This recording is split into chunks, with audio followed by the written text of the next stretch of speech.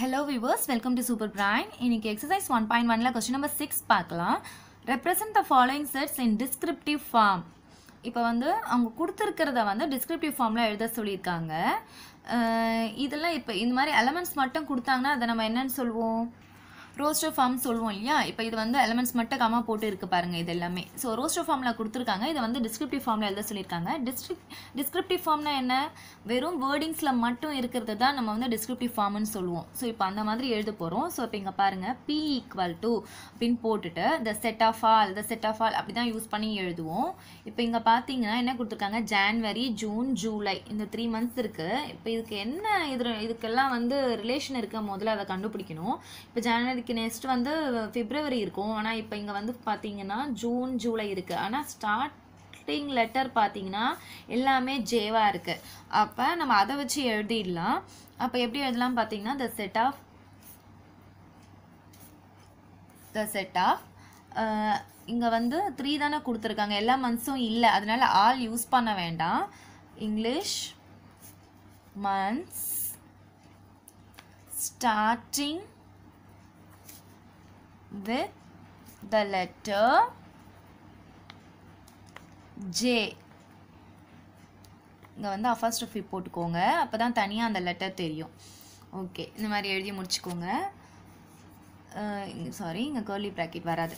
Okay next பாருங்கள் Q equal to seven eleven thirteen seventeen nineteen twenty three twenty nine கொடுத்துருக்காங்க. So இதில் எல்லாம் என்ன ரிலேஷன் இருக்குது முதல்ல கண்டுபிடிச்சிக்கலாம். இப்போ இதெல்லாம் என்ன நம்பர்ஸ் அப்படின்னு பார்த்தீங்கன்னா ப்ரைம் நம்பர்ஸ் டூ ஃபேக்டர்ஸ் மட்டும் இருந்துச்சுன்னா அதை வந்து ப்ரைம் நம்பர் சொல்லுவோம். அதாவது அது என்ன நம்பரோ அந்த டேபிளில் வரும். அது இல்லாமல் ஒன் டேபிளில் வரும். அப்படி இருந்தால் அதை ப்ரைம் நம்பர் சொல்லுவோம். வேறு எந்த டேபிளையும் வராது. இப்போ செவன் எடுத்துக்கிட்டிங்கன்னா ஒன்லேயும் செவனில் மட்டும்தான் வரும்.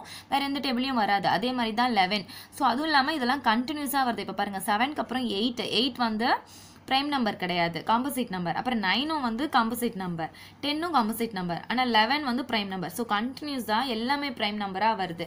அதுக்கு அப்புறம் பார்த்தீங்கன்னா இதுக்கு முன்னாடியும் ப்ரைம் நம்பர் இருக்குது இந்த டுவெண்ட்டி நைனுக்கு ஆஃப்டர்லையும் ப்ரைம் நம்பர் இருக்குது அப்போ நம்ம என்ன பண்ணலான்னா பிட்வீன் அப்படின்னு போட்டு எழுதலாம். அப்போ இதுக்கு முன்னாடி இருக்கிற ப்ரைம் நம்பர் எது அப்படின்னு பார்த்தீங்கன்னா ஃபைவு இதுக்கு நெக்ஸ்ட்டு இருக்கிற ப்ரைம் நம்பர் பார்த்தீங்கன்னா தேர்ட்டி ஒன்னு இல்லையா? ஏன்னா இதுக்கு முன்னாடி சிக்ஸு சிக்ஸ் வந்து ப்ரைம் நம்பர் கிடையாது காம்போசிட் நம்பர் அதுக்கு முன்னாடி பார்த்தீங்கன்னா ஃபைவ் அதே மாதிரி தேர்ட்டி அப்படின்னு பார்த்தீங்கன்னா அது வந்து காம்போசிட் நம்பர் நெக்ஸ்ட் பார்த்தீங்கன்னா தேர்ட்டி ஒன் தான் ப்ரைம் நம்பர் ஸோ இப்போ நம்ம எப்படி ஈஸியாக கண்டுபிடிக்கலாம் அப்படின்னு பார்த்தீங்கன்னா காம்போசிட் நம்பர் எப்படி கண்டுபிடிக்கலாம்னு பார்த்தீங்கன்னா டூ டேபிளில் வர்றது எல்லாமே அதாவது ஈவன் நம்பரில் வர்றது எல்லாமே காம்போசிட் நம்பராக இருக்கும். ஒரே ஒரு நம்பரை தவிர டூ மட்டும்தான் ப்ரைம் நம்பரில் ஒரே ஒரு ஈவன் நம்பராக இருக்கும். ஏன்னா டூக்கு வந்து டூ ஃபேக்டர்ஸ் மட்டும்தான் இருக்கும். மற்ற வர மற்ற எல்லா ஈவன் நம்பருக்கும் மோர் தென் டூ ஃபேக்டர்ஸ் இருக்கும். அதனால் அது எல்லாமே வந்து காம்போசிட் நம்பராக இருக்கும். ஸோ ப்ரைம் நம்பரில் இருக்கிற ஒரே ஒரு ஈவன் நம்பர் அப்படின்னு பார்த்தீங்கன்னா அது டூ மட்டும்தான் இருக்கும். அதுன்னு தெரிஞ்சு வச்சுக்கோங்க ஸோ இப்போ இதை எப்படி எழுதலாம் அப்படின்னு பார்த்தீங்கன்னா Q equal to the set of all prime numbers between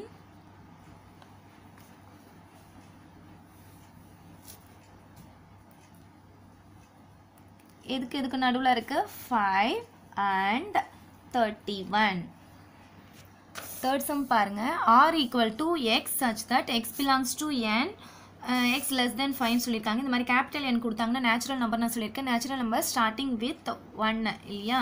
so இப்போ இது எப்படி எழுதலாம்னா R equal to the set of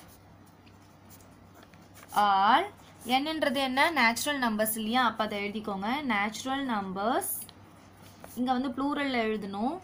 numbers இது எப்படி இருக்குன்னா ஃபைவ்க்கு கம்மியாக இருக்குது அப்போ என்ன எழுதலாம்? லெஸ் தென் ஃபைவ்னு எழுதிடலாம். அவ்வளோதான் ஓகே நெக்ஸ்ட் பாருங்கள் S equal to X such that X is a consonant in English alphabet அப்படின்னு கொடுத்துருக்காங்க. ஸோ இப்போ இதை எப்படி எழுதலான்னா எஸ் ஈக்குவல் டு எக்ஸ் வந்து ஒரு கான்சனன்ட்னு சொல்லியிருக்காங்க. அதாவது வவல் இல்லாதது. எல்லாமே கான்சனன்ட்னு சொல்லுவோம். அப்போ இது எப்படி எழுதலாம்னா the set of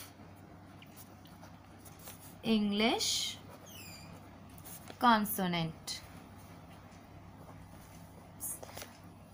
இப்போ இதை வந்து எப்போவுமே இந்த மாதிரி வந்து டிஸ்கிரிப்டிவ் ஃபார்மில் வந்து ரொம்ப எக்ஸ்பிளைன் பண்ணியிருப்பாங்க. அது எவ்வளோ ஷார்ட் பண்ணணுமோ அதை ஷார்ட் பண்ணி கொடுத்துடலாம். இப்போ இந்த இடத்துல ஆல்ஃபபெட்ன்றது தேவையில்லை.